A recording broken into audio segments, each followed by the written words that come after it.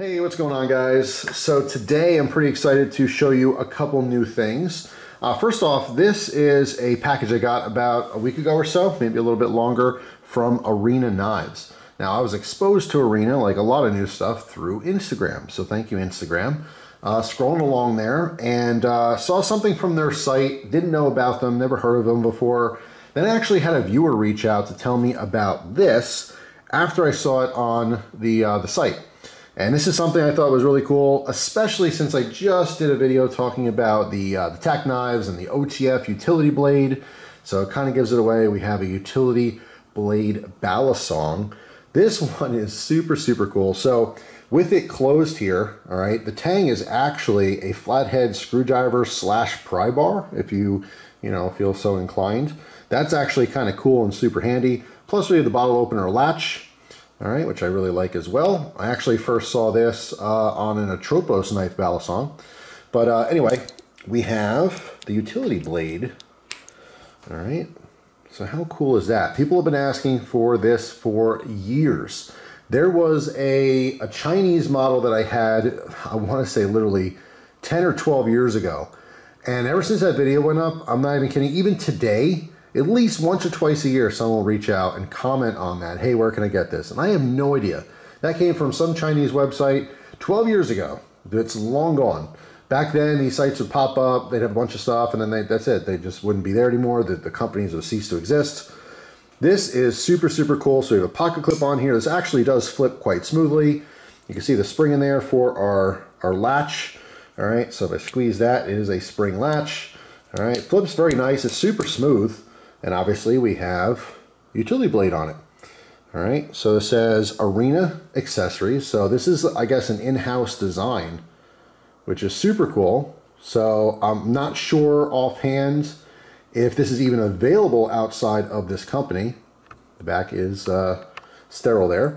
But not only that, we have the Big Brother here, all right, which is super cool. And this one, not only do we have utility holder, but with the wasted space, they decided not to waste it. We have the step down, um, you know, wrench, I guess, the makeshift wrenches, right?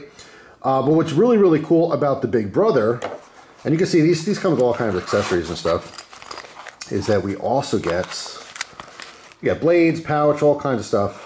But this is just going to make it very cool, especially for the actual flippers out there. We get a live blade.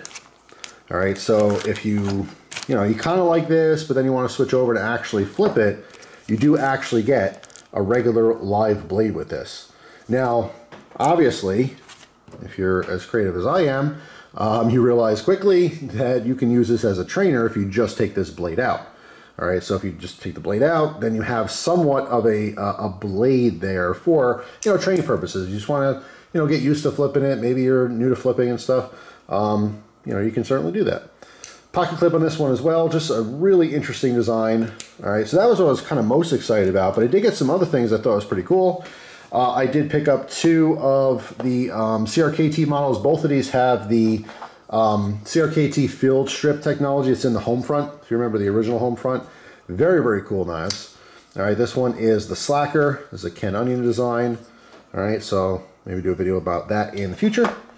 And also uh, another one of the field strip models. This one is the HVAS, H-V-A-S. All right, pretty interesting. I do have some thoughts on both of them, but we'll wait for the review for that. Then I saw this guy. This is a titanium utility knife holder, all right, which I thought was kind of cool. This is just really, really upscale. If you guys dig your like Lowe's or Home Depot folding utility knife, you know, a lot of them, a lot of those designs have like a liner lock. And by the way, as an aside, I have a bunch of utility knives that I was testing over the years. I mean, I literally had this idea to compare a bunch of utility knives more than a year ago, maybe even two years ago. I haven't forgotten. I still have them, just kind of put that on the back burner. So eventually you will see a video of me comparing a bunch of those, you know, cheap ones from the hardware store and stuff. This is definitely an upscale version. Um, obviously, have a pocket clip on here, but we do have a titanium frame lock. This is called the Flip Out. All right, and again, this is kind of like a home or arena, um, you know, base design, I suppose, because it has their logo on there. But anyway, super smooth flipper design. just really, really nice. So if you're into not sharpening and you're just into utility blades, maybe use this for work or something. If you're ripping open cardboard boxes constantly or cutting plastic straps or whatever you're doing at work, um, and you just don't want to deal with any kind of blade to have to sharpen, I'm obviously, you know, utility knives are where it's at. Being that uh, Pennsylvania changed the law, I can carry the balisongs, which is awesome. So big thumbs up with that. Definitely still been loving, again, the, uh, the Tac Knives OTF uh, utility blade. Um, just really, really cool option. Then I got these two just out of curiosity. This is like the Baby Shark. This is a brass. It's not, I mean, it's kind of an OTF, but it's not automatic. All right, it's just a manual. You push down, all right, push all the way out and it locks out. Just an interesting little design I wanted to play around with. And then there's this guy, which was super cool as well. Same deal, push down, slide out. All right, it is not, even though, again, it's coming out the front, it's not an automatic knife. There's no spring in here. So you can see in there, it says D2, Schwing, S-C-H-W-I-N-G.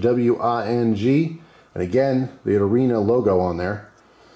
Um, so yeah, I mean, if you can't have an automatic knife like an OTF where you live, this is something that might be, you know, legal to own. You have to investigate that yourself, but I mean, there's no buttons or switches. You're literally pushing the blade out, no different than if you're rotating a manual folder out. So just an interesting design I want to check out. Now this one has a swedge. It is not sharpened on top. However, because of the design, you can absolutely do that. And I might even do that for this one. I'm not sure yet.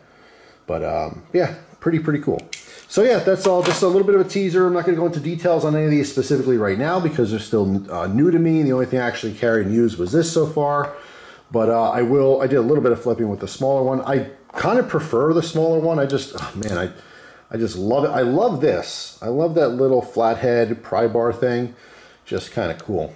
Um, I dig it. But yeah, just a little uh, teaser. I want you guys to tell me if you know about the company, you know, write your, your experiences down below, Arena, accessories.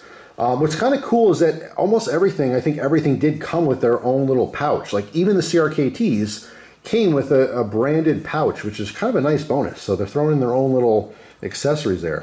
I think that's super cool. But anyway, that's all. So yeah, if you happen to use this dealer before, let me know in the comment section. Um, just a, a, very cool option. I, I, love, you know, checking out new things. And over the years, like I said, a lot of stuff comes from Instagram.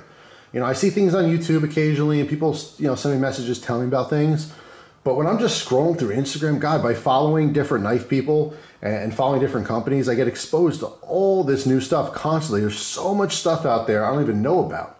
So, I don't know, it's just kind of cool. Like I said, I mean, there's been plenty of knives and not just knives, other stuff too, all the silver things and, you know, different dealers uh, over the years. That, again, it's all because of Instagram. If it wasn't on there, I wouldn't know about any of it. So I thought this was kind of cool. So anyway, that's it for now. Thanks for watching, guys. Hope you have an awesome day, and I'll see you tomorrow with a brand new video. Take care.